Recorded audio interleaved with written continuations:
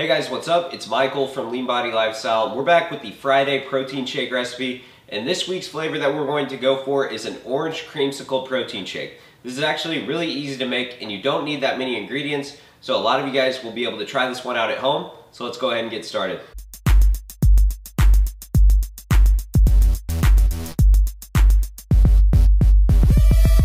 So this right here is a very simple recipe. Now in the blender, I already have one cup of ice. And what we're going to do is add in one cup of orange juice.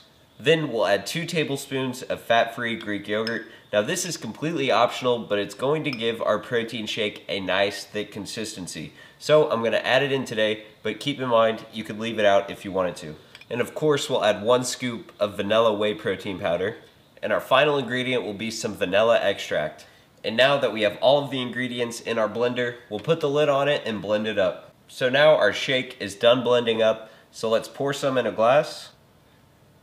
And our final product is a great tasting orange creamsicle protein shake. And that is pretty much gonna wrap up this video, so I hope you guys enjoyed this one at home. If you did, do me a big favor and click on the like button. I really do appreciate it and can't say how much that means to me. If you want to check out some more of my protein shake recipes, you can click on the playlist to the side of me. That is actually all of the protein shakes that I've ever made in an organized list. So if you like this video, definitely check that out. If you want to stop by Facebook or follow me on Twitter, links are down below in the description. But thank you guys so much for watching, and I will talk to you next video. Bye.